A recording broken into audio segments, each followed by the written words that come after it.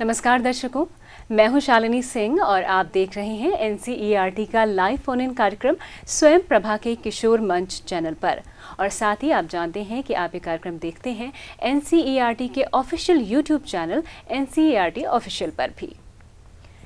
किशोरावस्था वो अवस्था होती है जिसमें बौद्धिक और शारीरिक विकास होता है। ये वो अवस्था होती है जिसमें बच्चे बचपन से वयस्क बनने का सफ़र पूरा करते हैं। जिसमें बच्चे अपने परिवार के अलावा एक बाहरी दुनिया से भी रूबरू होते हैं। और ये बाहरी दुनिया के बहुत सारे सकारात्मक और नकारात्मक प्रभाव भी उनके ऊपर पड़ते हैं।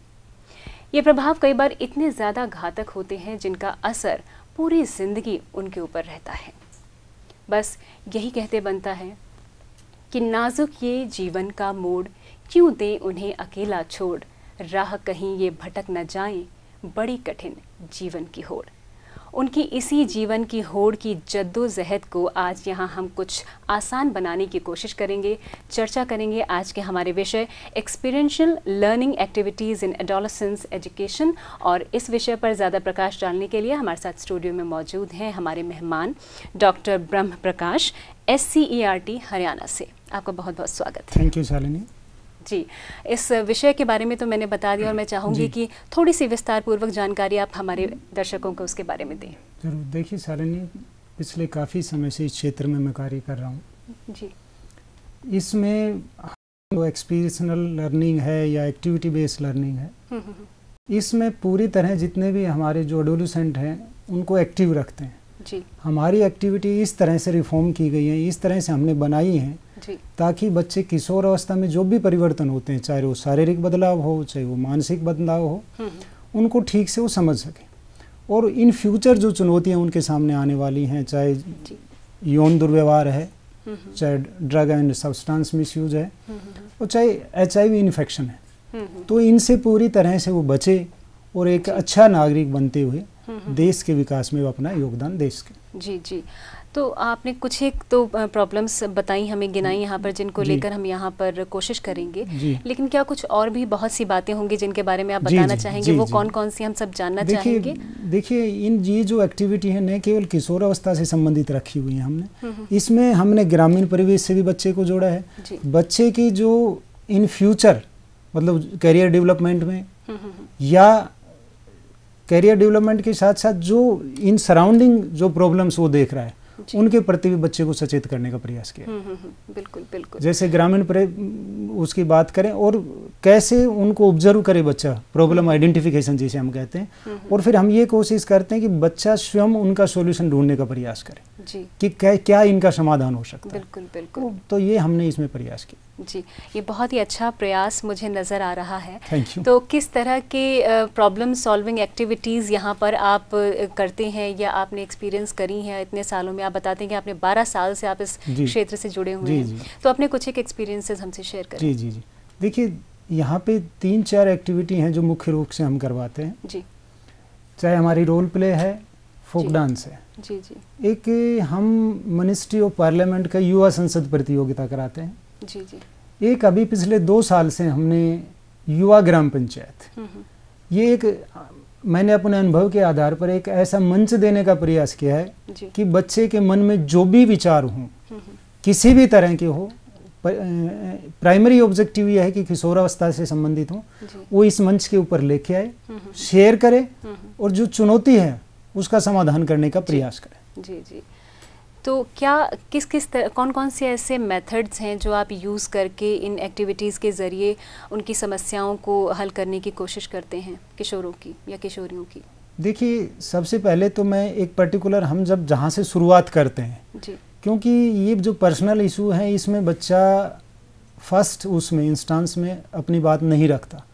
बहुत सी ऐसी हमारे सामने पर्टिकुलर एक दो केस भी आए हैं हम्म, हम्म, कि बहुत समय काफ़ी लंब डेढ़ से दो साल तक बच्चा पर्टिकुलर समस्या से ग्रसित रहा है जैसे यौन दुर्व्यवहार का लेकिन कहीं वो अपने भावों को नहीं रख पाया या किसी को बता नहीं पाया। लेटर ऑन स्टेज पे पता लगा। तो हम ये चाहते हैं कि किसी के भी बच्चे के साथ कोई समस्या यदि आती है हम्म, हम्म, तो प्रारंभिक स्टेज पे ही एक ऐसा प्लेटफॉर्म हो जिसपे बच्चा रखे।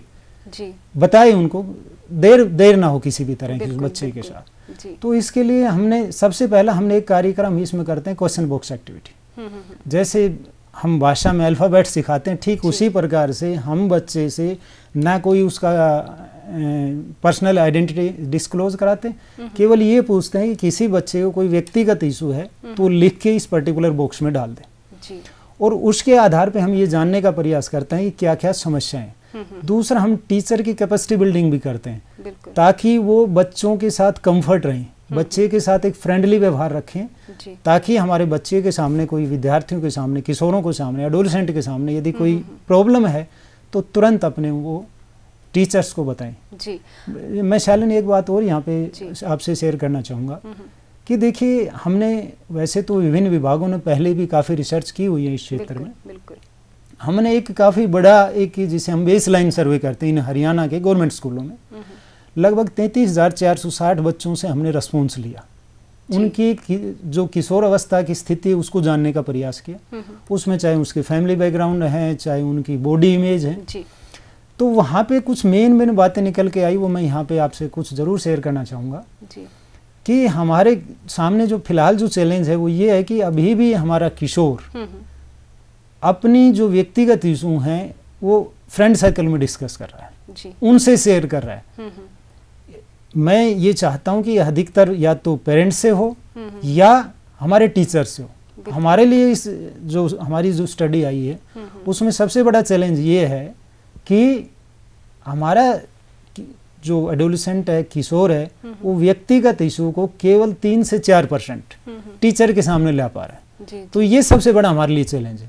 हम ये चाहते हैं कि कोई भी इशू यदि उसे हो हमारा जो किशोर है वो टीचर के प्रति कंफर्ट जोन में हो। बेझिझक हम्म, कोई रुकावट ना हो उनके बीच में तो एक इस तरह का एनवायरनमेंट हो तो मैं समझता हूँ कि जो भी चुनौतियाँ हैं किशोर अवस्था की वो आसानी से सोल्व हो सकती जी आपने कहा कि किशोर जो है टी, टीचर से या फिर अपने फ्रेंड सर्कल में ही शेयर करते हैं अपनी प्रॉब्लम्स किस किस तरह की प्रॉब्लम्स उनकी अक्सर देखने में आती हैं? और क्या कारण है कि वो सिर्फ़ अपने दोस्तों से या टीचर से ही बात एक तो जो बदलाव होता है हम्म, पहले ज्वाइंट फैमिली होती थी तो हो सकता है किसी से बच्चे को पता लग जाए। हम्म, हम्म, हम्म, चाहे वो जो फ़िज़िकल जो चेंजिंग है डेवलपमेंट डेवलपमेंट है। जी, या इमोशनल है तो वो कई बार बच्चे को पता नहीं होता या बच्ची को पता नहीं होता कि ये मेरे में क्या होगा बिल्कुल तो बिल्कुल। कम से कम अगर उसको ऐसा महसूस करता है कि अचानक ये क्या होगा मेरी बॉडी में बिल्कुल बिल्कुल। तो वो कम से कम हमारे टीचर्स के पास जाके कि ये मेरे साथ हुआ है तो वो भी बताए कि वैसे तो हम ये कोशिश कर रहे हैं कि समय से पहले ही हम किशोरों को मेंटली प्रिपेयर कर दें कि ये बदलाव होते हैं इस तरह से होता है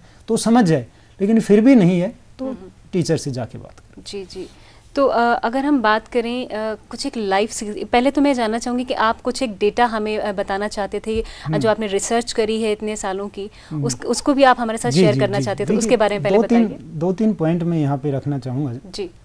मैंने आपको बताया कि हमने एक बेसलाइन सर्वे किया है। हम्म, हम्म, उसमें जो चैलेंजेबल पॉइंट है मैं केवल वही डिस्कस करूँगा। जो हमने जिनको चैलेंज लिया है। हम्म, हम्म, हमने बच्चे की जैसे फ़िज़िकल ग्रोथ के बारे में बड़ा सिंपल सा क्वेश्चन किया था। क्योंकि अक्सर बच्चे अपनी बॉडी इमेज से आप सेटिस्फाई हैं या नहीं है। तो 80 परसेंट बच्चे ठीक है हमारे जो बॉडी इमेज है उनसे सेटिस्फाई हम्म, हम्म, हम्म, चाहे उनका कलर है चाहे उनकी हाइट है चाहे उनका वेट है वो सेटिस्फाई है। लेकिन 18 point eighteen point six percent वो हमारे लिए चैलेंज है। कहीं ना कहीं वो Physical फ़िज़िकल अपीयरेंस अपीयरेंस को लेकर। तो वो मैं समझता हूँ कि वो चैलेंज उसके लिए हमें काम की ज़रूरत है उन्हें हमें बताने की आवश्यकता है। जो नेचुरल प्रोसेस है जो प्रकृति ने हमें दी है हम्म, हम्म, हर आदमी हर बच्चा जो कुछ उसने बना, बनाया है हम्म, वो यूनिक है और हमारे लिए जी किस तरह की बातें देखने में आती हैं? फ़िज़िकल अपीयरेंस क्या वो पतले हैं हाँ हाँ हैं देखिए कोई किसी के हाइट का हम्म, इशू है किसी का कलर का इशू है किसी का वेट का इशू है तो इनके अलग अलग इसमें कारण जी। जी। इसके अलावा भी आप हमारे साथ कुछ और डेटा शेयर हाँ हाँ जैसे मैंने बताया था कि हमारी जो किशोर जो जो समस्याएँ लेके आते हैं या जो उनके मन में जो प्रश्न होते हैं हम्म, हम्म, वो हमारे टीचर से कम शेयर करते हैं। तो अच्छा। ये हमारे सामने चैलेंज है। एक और ये है कि हमने बच्चों को क्योंकि ये बताया कि हमने किशोर अवस्था से जुड़े तमाम पहलुओं को इस स्टडी में कवर करने का प्रयास किया था। हम्म, हम्म, चाहे ग्रोइंग अप इशू हों चाहे आपके हरासमेंट के इशू हों चाहे आपके ड्रग में सब्सटेंस मिस यूज़ हों चाहे चाहे इन्फेक्शन हो हम पूरा स्टेटस जानने का प्रयास कर रहे थे कि क्या हमारे किशोरों की स्थिति है ताकि हम उनको और बेटर यदि उनके सामने कोई चैलेंज है कोई चुनौती है कोई समस्या है हम्म, तो एक अच्छा और एनवायरनमेंट देश के और समय के से पहले ही वो उनके प्रति सचेत रहें। बिल्कुल बिल्कुल। तो इसमें जी। एक ही देखिए हमने हमारे सामने एक और बात निकल के सामने आई। हम्म, हम्म, कि यदि मैं सेक्सुअल हरासमेंट की बात करूँ यौन दुर्व्यवहार की बात करूँ तो हमने वैसे तो इसमें पाँच छह तरह के अलग अलग प्रश्न किए थे। जी। एक प्रश्न मैं यहाँ पे आपसे शेयर करना चाहूँगा। हमने बात ये की थी कि क्या कभी आपके साथ किसी ने जिसे फोर्सफुल फ़िज़िकल रिलेशन कहते हैं ज़बरदस्ती शारीरिक संबंध बनाने की कोशिश है तो क्या कभी आपके साथ हुई है? इस पे हमारा काफ़ी डिबेट हुआ हमारा जो टूल डेवलपमेंट टीम थी वो। बच्चों की आप बात कर रहे हैं या नहीं पहले मैं ये बात कर रहा हूँ कि क्या हम वो पर्सन डालें कि नहीं डालें? तो वो जी। निकल के आया कि भाई हमें पूछना चाहिए तो हमारे किशोरों से हमें ये रिस्पॉन्स मिला हम्म, हम्म, कि न केवल लड़कियों के साथ हम्म, हम्म, बल्कि लड़कों के साथ भी सेक्सुअल हरासमेंट होता है। बिल्कुल ये पहले भी एक दो स्टडी हुई है इस संबंध में और हम भी ये मानते हैं और ये मानते हैं कि पेरेंट्स जो हैं लड़कियों के प्रति सचेत हैं उनका ध्यान रखते हैं। हम्म, हम्म, लेकिन लड़कों के इस विषय के प्रति वो इतने सचेत नहीं है। तो मैं। आपके चैनल के माध्यम से कहना चाहूँगा हम्म, कि हर किशोर इस अवस्था में ध्यान रखने के लिए जी जी जी। उनका ध्यान रखना का शिकार बिल्कुल। अब चाहे लड़की हो या या लड़का। दोनों ही दोनों दोनों दोनों जी जी। जी। तो अ, मैं आपसे जानना चाहूँगी कि इतनी तरह की समस्याएँ आपने बहुत तरह के सवाल शायद बच्चों से भी किए थे। एक दो एग्ज़ाम्पल अगर अगर आप हमें देना चाहें तो उन बच्चों ने भी अपनी प्रतिक्रियाएँ अपने सवाल आप तक पहुँचाए हैं शायद आप हमें बता रहे थे देखिए देखिए मैंने आपको बताया था कि एक युवा ग्राम पंचायत कार्यक्रम करते हैं। हम्म, हम्म, हम्म, मैं उस इसको थोड़ा सा यहाँ पे डिस्कस करना चाहूँगा क्योंकि वो हमारा इसी का एक हिस्सा है। मैंने बताया था कि हमने किशोरों को एक प्लेटफॉर्म देने की कोशिश की है। इसमें न केवल एडोलेसेंट इशू को हम्म, बल्कि जो सोशल करंट इशू हैं जो। आपके क्वालिटी एजुकेशन है जो आपके एनवायरमेंटल इशू हैं जो। आपके एग्रीकल्चर इशू हैं जो लोकल जो भी इशू हैं हम्म, हम्म, वो हमने सब इस प्लेटफॉर्म के माध्यम से बच्चों को बताने का प्रयास किया। और इसमें बच्चे खुद करते हैं।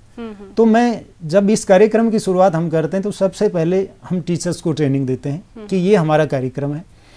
सब जो टीचर्स को फ़र्स्ट डायरेक्शन ये होती है कि अपने सराउंडिंग में बच्चे के सामने पर्टिकुलर यदि ग्राम पंचायत हो गाँव की जो भी समस्या है जी।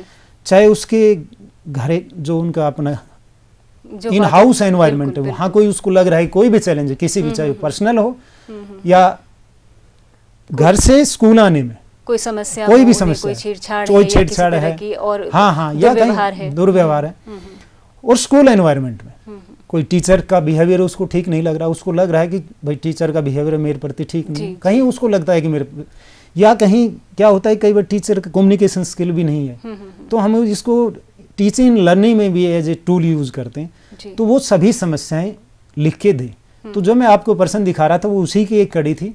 डिस्ट्रिक्ट पंचकुला में इस तरह के हमने पर्सन बच्चों से लिखवाए थे। तो आप मैंने आपको दिखाया था कि बच्चे को सिक्योरिटी बहुत माने इनसिक्योर कहीं ना कहीं उन उन क्वेश्चनों से हम यदि निष्कर्ष निकालें तो बच्चे कहीं ना कहीं अपने आप को सिक्योर फील नहीं करें सुरक्षित महसूस नहीं कर। रहे। चाहे घर से स्कूल आने का एनवायरमेंट हो हम्म, हम्म, हम्म, और जो भी समस्याएँ बच्चों ने ऑब्ज़र्व की क्योंकि हम ये चाहते हैं कि बच्चे समस्याओं को ऑब्ज़र्व करें पहचानें चाहे किशोर अवस्था की हो चाहे सराउंडिंग की हो और कहीं ना कहीं वो इस बात पे थिंक करें सोचें विश्लेषण करें कि इनका क्या समाधान हो सकता है। जी। अभी हम बात करें कि बच्चे अपने आप से जो है चीज़ों को पहचाने समस्याओं को सामने लेकर आए। तो अगर लाइफ स्किल्स की बात करें जिसमें कि प्रॉब्लम सॉल्विंग और क्रिटिकल थिंकिंग और इसके अलावा इंटरपर्सनल स्किल्स भी आते हैं तो क्या वो भी इसी का हिस्सा देखिए बिल्कुल। देखिए किशोर अवस्था शिक्षा का एक लाइफ स्किल महत्वपूर्ण हिस्सा है पार्ट है। जी। वैसे तो हम इसमें ग्रोइंग अप इशू लेते हैं। हम्म, हम्म, हम्म, H I sorry substance misuse use लेते हैं। एच आई वी इन्फेक्शन लेते हैं। जी। और सब्सटेंस मिस यूज़ लेते हैं। सॉरी लाइफ स्किल लेते हैं। हम्म, ये चार पार्ट थे। अब थोड़ा सा हमने एन ने मैं ये कहूँ कि एन ने हम्म, हम्म, हम्म, डिपार्टमेंट हेल्थ डिपार्टमेंट के सहयोग से एक नया कार्यक्रम बनाया जो शायद जल्दी हमारे किशोरों के बीच में आने वाला है। जी। वो इससे और आगे है कुछ उसके स्वास्थ्य को भी ध्यान में रखा गया है। तो ये सारा पार्ट उसमें एड ऑन कर दिया गया हम्म, हम्म, हम्म, तो जीवन में लाइफ स्किल बहुत महत्वपूर्ण है। जी। जिस बच्चे के अंदर लाइफ स्किल स्ट्रोंग होंगी जी जी। और मैं ये कहता हूँ कुछ वैसे तो सारी लाइफ स्किल जो डब्ल्यू एच ओ ने टेन लाइफ स्किल बताई हैं वो आवश्यक है हर बच्चे के लिए। और हमने इन एक्टिविटी के माध्यम से उनको एनहांस करने का प्रयास किया। उनको एक प्लेटफॉर्म दिया चाहे आपकी कम्युनिकेशन स्किल हो चाहे एनालिटिकल स्किल हो चाहे आपकी इंटरपर्सनल स्किल हो चाहे। कोपिंग विद स्ट्रेस हो चाहे कोपिंग विद मोशन हो जितनी भी लाइफ स्किल है उनको कैसे एनहांस किया जाए वो इन एक्टिविटी के माध्यम से हमने देने का प्रयास जी यहाँ पर हमारे पास एक वीडियो हाँ, भी वीडियो देखिए। जो हम लाइफ स्किल को जी, लेकर जी, देख जी, जी, सकते लाइफ हैं स्किल का है को दिखा सकते हैं। और सोशल इशू भी इसमें उठाने का प्रयास जी, बिल्कुल, बिल्कुल। क्योंकि कभी से हमारे यहाँ पर्दा प्रथा चली आ रही है उसका भी हमने बच्चों ने बहुत अच्छे ढंग से इसको यहाँ पर रखा है। जी हम अपने दर्शकों को दिखाना चाहेंगे हमारा एक वीडियो भी है लाइफ स्किल को लेकर शायद वो बेहतर समझ पाए इसे जी। देखकर जी हम उम्मीद करते हैं कि बहू पढ़ी लिखी है पर चाहिए पर्दे में बुराई पर पर्दा डाला जाता है। हमारे घर की शान बहू बेटियों पर नहीं। ना जी ना देखो ऐसा नहीं। घूंघट तो शर्म लिहाज की निशानी होती है।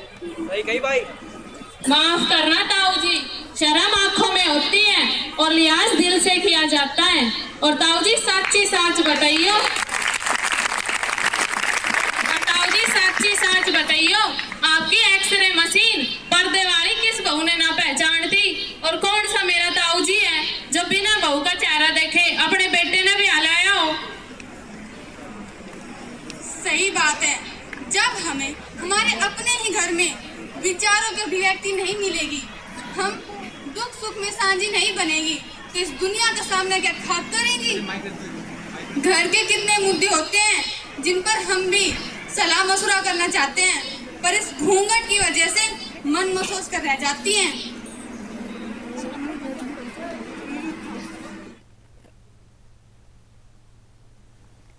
जी तो मुझे लगता है काफ़ी कुछ इन्होंने देखा है और लाइफ स्किल की, इसी तरह की बहुत सारी एक्टिविटीज़ जो हैं और भी होती रहती हैं। क्योंकि हम बात कर रहे हैं लाइफ स्किल्स की तो मैं जानना चाहूँगी कि कुछ और भी एक्टिविटीज़ जैसे कि आपने हमसे बात करी ग्राम पंचायत की आपने बात करी थी कि युवा ग्राम पंचायत को लेकर आप हमें कुछ बता रहे थे। मैं उसके बारे में थोड़ा सा जानना चाहूँगी। फिर उससे जुड़ा हुआ हमारे पास एक वीडियो जो हम अपने दर्शकों को दिखाएँगे थोड़ी ही देर में। देखिए शालिनी जो हमने अभी वीडियो देखी है जी। ये भी हमारा युवा ग्राम पंचायत का ही एक वीडियो है। हम्म, हम्म, इनके माध्यम से न केवल लाइफ स्किल जी। बल्कि सोशल इशू को भी समझने का प्रयास किया है। जी जी। कि हमारे सामाजिक क्या क्या चैलेंज है हमारे सामने। जी बिल्कुल। आपने इस वीडियो के माध्यम से देखा जैसा मैंने आपको पहले भी बताया था कि पहला हमारा ये होता है कि बच्चे प्रॉब्लम को लेके आए। जी।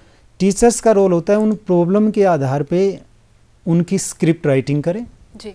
और फिर बच्चों को हम्म, हम्म, उनके लिए तैयार करके एक युवा ग्राम जी पंचायत के माध्यम से उन इशू को उठाने का प्रयास करें। जी। इसके अलावा एक और भी हमारे दिमाग में एक आइडिया था कि बच्चे लोकल बॉडी को की एक्टिविटी को भी जाने। हम्म, हम्म, हम्म, कि हमारी लोकल बॉडी कैसे काम करती है। ग्राम सभा का क्या रोल होता है? ग्राम पंचायत का क्या रोल होता है? क्योंकि अभी तक मैंने पिछले दो साल से मेरी एक्टिविटी चल रही है। अभी हाल ही में मैं एक डिस्ट्रिक्ट हमारा जींद है उसके एक स्कूल में एक्टिविटी चल रही थी वहाँ पे हमारी एसडीएम साहब आए हुए थे। तो उन्होंने बताया कि यार मेरे अंडर में करीब डेढ़ सौ दो सौ ग्राम पंचायत हैं। हम्म, हम्म, जिस तरह का यहाँ पे एक आइडियल ग्राम पंचायत ग्राम सभा को प्रदर्शित किया गया जिन मुद्दों को उठाया गया शायद मेरी किसी ग्राम पंचायत में नहीं उठाया। जी और मुझे लगता है कि ग्राम पंचायत और ग्राम सभा डिफरेंस भी बिल्कुल बिल्कुल बच्चे तो शायद नहीं न- जानते हाँ तो वो दोनों का डिफरेंस क्या है? और क्या एक ग्राम सभा में कौन कौन भागीदार हो सकता है? कौन जा सकता है? कौन अपनी बात रख सकता है? और अपनी समस्याओं को रख के कैसे सोल्व करा सकता है? तो ये भी हमने उसमें थोड़ा सा बताने का प्रयास किया। इसमें एक्सपीरियंस लर्निंग भी है। लाइफ स्किल एनहांसमेंट भी है। और बच्चे की ऑब्जर्वेशन स्किल भी है। बिल्कुल। और मुझे लगता है कि अपनी को बेहतर रंग से ढंग से रखने का यहाँ एक एक अच्छा प्लेटफॉर्म भी। मिलता है। देखिए मैं आपको शालिनी पहले भी कह रहा था कि ये तो मैंने एक मोड़ लिया एक तरीका लिया है युवा ग्राम पंचायत मैं ये चाहता हूँ कि इस प्लेटफॉर्म के माध्यम से जितने भी किशोरों की समस्याएँ हैं खुद लेके आए। एक ऐसा इन्वायरमेंट करें कि, कि किसी भी किशोर के सामने कोई भी समस्या आती है तो तुरंत वो उसका समाधान हो उसके। चाहे वो उनके परिवार कोई में हो, समय का गैप ना जी बिल्कुल हाँ। चाहे वो परिवार में हाँ है चाहे घर में है तो भी वो उस मंच पे आके डिस्कस करें। बिल्कुल बिल्कुल। तो ऐसा ही एक एग्ज़ाम्पल यहाँ पर हम देखेंगे जिससे कि हमारे दर्शकों को जो कि विद्यार्थी भी हैं और बच्चे बाकी और भी बच्चे हैं वो जानेंगे कि कैसे यहाँ पर वो अपनी बातों को बहुत ही बेहतर ढंग से रख सकते हैं। आइए देखते हैं हमारा ये वीडियो इनसे संबंधित अधिकारियों से बात की जाएगी। जल्दी जल्दी इन योजनाओं को लागू किया जाएगा। सरपंच साहब अनुमति हो तो मैं आपकी अपनी बात रखूँ? आप भाई बोल ज़रूर बोल। ग्राम सभा होती है अपनी बात रखने के लिए। सरपंच साहब हमारे गाँव में जो पानी की निकासी की नालियाँ बनी है ना, वो जगह जगह टूटी पड़ी है और उसमें कीचड़ कीचड़ भरा पड़ा है। उसमें से बदबू मारती रहती है। वहाँ से लोगों का निकलना बड़ा ही मुश्किल हो जाता है। इसने गलियों का बुरा हाल कर रखा है। चारों तरफ़ पानी पानी भरा पड़ा है। बाहर तावने लोग भी ये कहे भाइयों थारो गाँव है, तालाब है। सरपंच साहब, हमारे गाँव में, स्कूल में बालकों का आना जाना मुश्किल हो रहा है।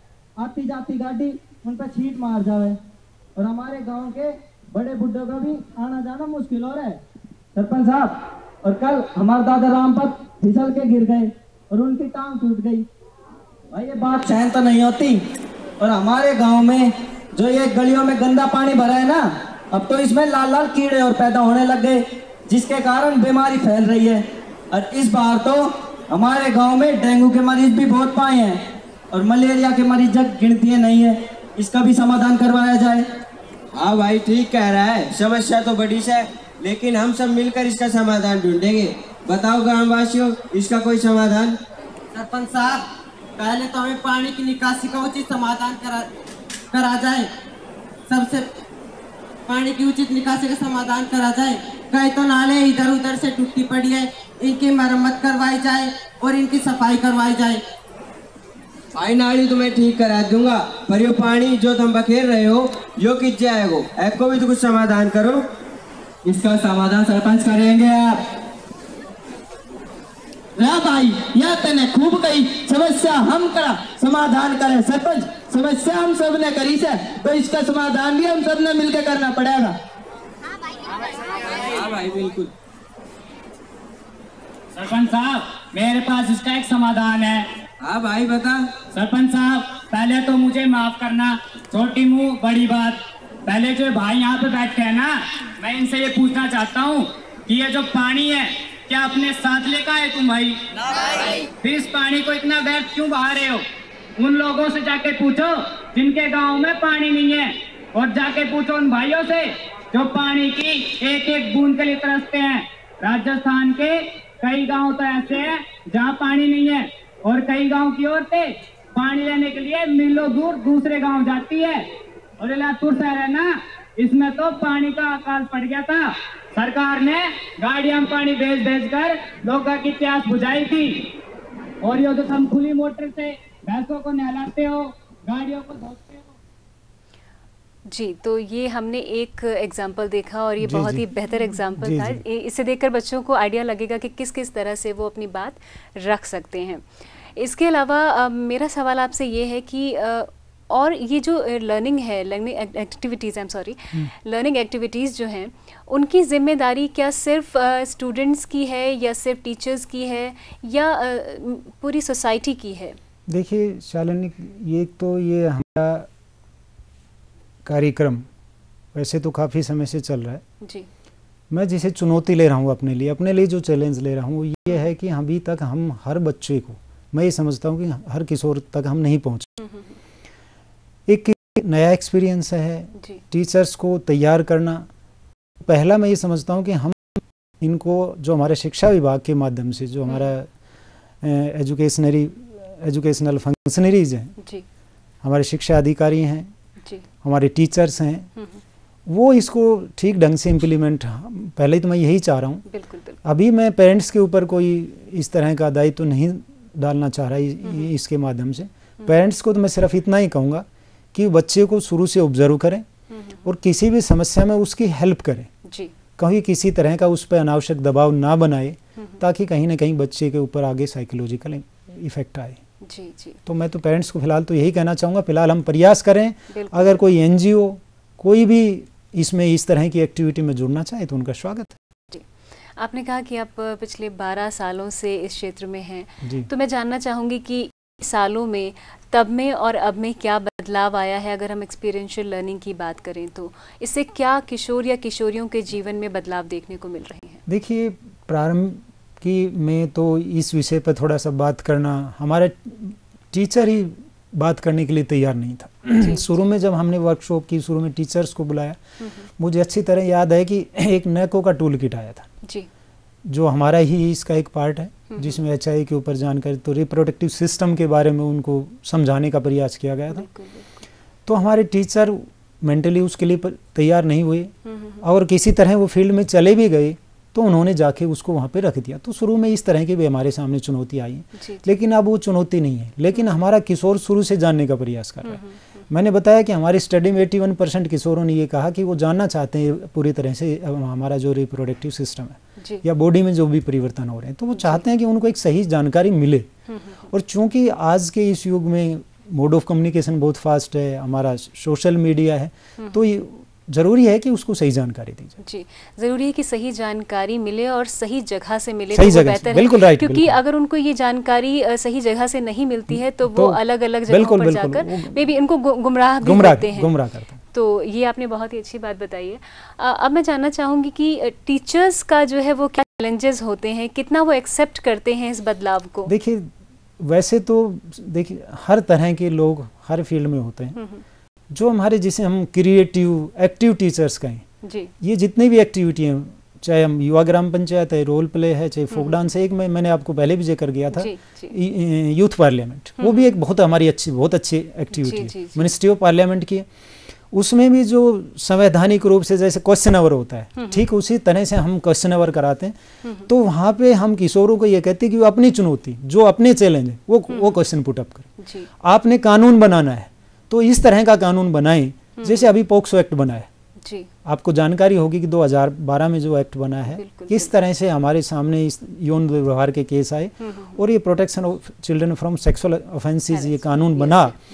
और इस आपके माध्यम से मैं ये भी कहना चाहूँगा कि हर टीचर और हर बच्चे हम्म, हम्म, टीचर पहले इस कानून के बारे में जाने और बच्चों को किशोरों को समय रहते हुए अवेयर करें। बिल्कुल बिल्कुल। कोई भी किशोर अगर जाने अनजाने में इस एक्ट के तहत यदि कहीं उसका बिहेवियर पाया जाता है तो उसके जीवन के लिए बहुत बड़ी चुनौती होगी। वो जी। बहुत मुश्किल होगा उसके उनको तो हम समय पे ये चाहते हैं कि उनको अवेयर कर दिया जाए कि कहीं भी उनका बिहेवियर इस तरह का ना हो जो इस एक्ट के तहत रिस्की या पनिशेबल बिहेवियर माना जाए। जिससे कि उनका जीवन जो है खराब खराब। जानकारी हो कि अगर। वो ऐसा कोई भी हाँ, काम हाँ बिल्कुल बिल्कुल बिल्कुल उसे पोक्सो और मैं ये कह रहा हूँ कि टीचर को भी पता क्योंकि इस एक्ट में हर टीचर को रेस्पॉन्सिबिलिटी फिक्स की गई या जिसके भी सामने वो जिसके साथ ही उन दुर्व्यवहार हुआ है वो शिकायत अपनी लेके जाता है या अपनी बात बताता है तो राइट प्लेटफॉर्म पर उसकी शिकायत करने का दायित्व इस एक्ट के तहत उसका बनता है। बिल्कुल बिल्कुल। अब मैं अब चलते चलते आपसे जानना चाहूँगी क्योंकि समय अब बस थोड़ा ही बचा है हमारे पास हम्म। तो आ, मैं जानना चाहूँगी कि क्या वो संदेश या मैसेज आप हमारे जो स्टूडेंट्स हैं या और भी बच्चे हैं किशोर किशोरियाँ हैं तो उनको क्या संदेश देना चाहेंगे जिससे कि न सिर्फ़ उन्हें इन एक्टिविटीज़ के बारे में जानकारी मिले अपनी किशोरावस्था को बेहतर ढंग से जीने का अवसर मिले बल्कि अपनी ज़िंदगी को भी आगे जाकर सुधारने के नई देखिए राह मिले। मैं बिल्कुल ये कहना चाहूँगा कि अपने जो उनका स्कूल लर्निंग है जी। उनमें पूरी तरह जो भी एक्टिविटी है क्योंकि जितनी एक्टिविटी में वो इन्वॉल्व होंगे जितने भाग लेंगे न केवल ये हमारी एक्टिविटी है जो किशोरावस्था से संबंधित बाकी अदर एक्टिविटी में। उतना ही वो एक बेहतर इंसान बनेगा। उसका जो डिसीज़न मेकिंग है वो अच्छा होगा। कॉन्फिडेंस लेवल बढ़ेगा उसकी जितनी लाइफ स्किल हैं वो बढ़ेंगी और देश के विकास में अच्छा योगदान देगा। बिल्कुल तो मेरा उन्हीं यही संदेश है कि इस अवस्था में जो भी चुनौतियाँ हैं, उन्हें एक्टिविटी के माध्यम से समझे। क्या क्या उन्हें बदलाव आ रहे हैं वो समझे। क्या लाइफ स्किल है वो समझे। यौन दुर्व्यवहार या जिसे हम सब्सटेंस मिसयूज कहते हैं जो गेटवे हैं उनको कैसे हम रोकें? हम्म, हम्म, हम्म, क्योंकि अभी मैंने एक कार्यक्रम में चला रहा हूँ राष्ट्रीय स्तर पे। डिपार्टमेंट ऑफ़ सोशल जस्टिस का है। जी। उन्होंने एक प्लान ऑफ़ एक्शन बनाया है हम्म, हम्म, कि कैसे हम अपने किशोरों को प्रारंभिक अवस्था में इस तरह का इन्वायरमेंट क्रिएट करें कि वो गेटवे जिसे हम कहते हैं वो खुले ही ना। उनकी तरफ़ वो जाए ही ना। तो पहले हम यही प्रयास करें। और पेरेंट्स के लिए भी यही है कि कहीं भी किसी भी स्टेज पे हम्म, बच्चे के ऊपर अनावश्यक दबाव न बनाया जाए। बिल्कुल बिल्कुल। और देखिए किशोरों के सामने ऐसे भी कुछ केस पाए गए हैं जिसे पीयर प्रेशर कहते हैं साथियों का दबाव कहते हैं। यदि यहाँ ठीक ढंग से हमारी एक इस एक्टिविटी में हमारे किशोर गुजरे तो उस दबाव को सहन करने की ताकत उनमें आती है। वो उनको ना कहेंगे कि नहीं हम इसमें शामिल नहीं हैं। तो ये इस तरह की हमारी एक्टिविटी जो एनसीआर विशेष रूप से तो सारा मैं एनसीईआरटी का ही आभार प्रकट करूँगा। NCERT का श्रेय हाँ, काफ़ी हद तक जाता बिल्कुल है। बिल्कुल बिल्कुल। हम बिल्कुल इस तरह की एक्टिविटीज़ अक्सर करते रहते हैं और बच्चों को जानकारियाँ देते रहते हैं। आपसे भी हमें बहुत सारी जानकारी आज मिली है और मुझे लगता है कि हमारे दर्शकों को और हमारे किशोर किशोरियों को भी इसके काफ़ी लाभ होगा। बस चलते चलते मैं आपका धन्यवाद करना चाहूँगी इतनी महत्वपूर्ण जानकारी के लिए और अपने दर्शकों को भी बताना चाहूँगी। सबसे पहले मैं उनका भी धन्यवाद करती करती हूँ कि उन्होंने हमारे इस कार्यक्रम को इतने सब्र के साथ देखा। और मैं चाहूँगी कि ये कार्यक्रम किशोर मंच से वो हमारे जुड़े रहें। और अगर कोई उनका विषय वो चाहते हैं कि हम उस विषय को यहाँ पर डिस्कस करें, उस पर चर्चा करें तो वो भी हम, हमारे साथ शेयर कर सकते हैं। चाहे मैसेजेस हों फीडबैक हों या क्वेश्चन हों, आप हम तक पहुँचा सकते हैं। हमारे ईमेल आईडी पर, जो कि है सी आई ई टी डॉट किशोर मंच at the rate Gmail dot com फ़िलहाल के लिए शालिनी सिंह को दीजिए इजाज़त। नमस्कार।